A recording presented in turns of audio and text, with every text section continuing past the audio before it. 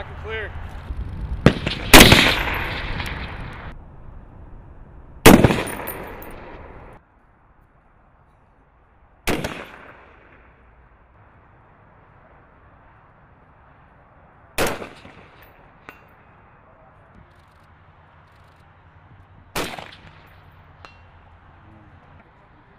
Wait, yeah, left. That's a mil and a half. So you should be holding 0.5 then. Watch it.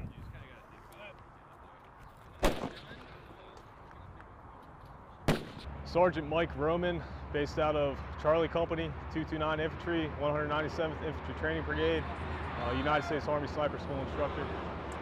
All right, basically this is uh, wrapping up the five-week MTT that we flew here to Alaska to conduct. Um, today's the last day that we have on the range. Uh, what we're doing here today is that uh, we're testing the students' overall ability to mil out and find distances of unknown targets and successfully engage them with two shots. Uh, we like to call that exercise the final shot. Uh, sniper will get down by himself. Uh, he won't have a spotter with him. Uh, he will mil the target, figure out his own range, put the correct dope in the gun, make his own wind call, and he'll engage the target and hopefully he'll get that first round hit. Technically, you always want to get the first round for a hit because uh, if you don't, your enemy that you're trying to shoot and kill, they're going to know that you're there, and then uh, they'll start shooting back at you. So you want to get the drop on them before they get it on you. Uh, the next the next station that we have over here is the uh, alternate firing position because uh, any sniper that has deployed knows that they don't spend the majority of their time doing belly shooting over in Afghanistan. Um, things are boring for the most part, but when it does go down, it's usually at the worst possible time. Uh, therefore, we need to utilize alternate firing positions. So we're getting these sniper students comfortable in doing so.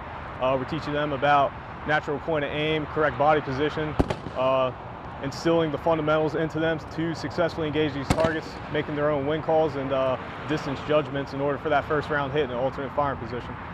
Uh, basically, commanders will get back to them a well-trained, highly qualified sniper from the United States Army Sniper School. Um, we seek for nothing less in that aspect.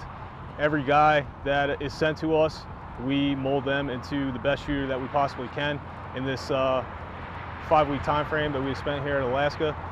So these commanders are getting back some excellent shooters right now.